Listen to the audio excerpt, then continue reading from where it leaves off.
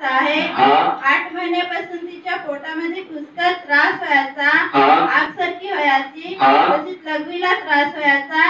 या त्रासासाठी या बहिणीला शेजाऱ्यांच्या सांगण्यावरून केंद्रामध्ये यायला लागले.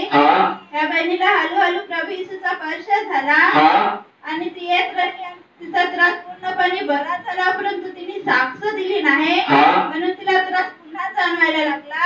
आज सकाळी आली तिथपर्यंत तिला त्रास चालू होता हा इकडनं ती उठून तिकडे सेवा करण्यासाठी गेली. तेव्हा तिला थोडासा फरक जाणवला. आणि आताच्या प्रार्थनेत तिने हजारी भागावर हात ठेवला.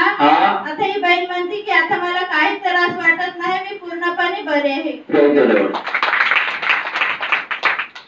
कधीपासून त्रास होता तुम्हाला? अगोदपासून म्हणजे आठ महिन्यापासून. आठवा महिना आठव्या महिन्यापासून तुम्हाला पोटात दुखत होतं. हा. हा गरमी पडायची. हा हा. लघवीला गरमी पडायची. आठ महिन्यापासून हा. आणि पोटातही दुखायचं. खायचं चावायचं. आग व्हायची. हे धीरे धीरे बरं झालं होतं. साक्षी तुम्ही दिली नाही. हा. मग परत त्रास झाला.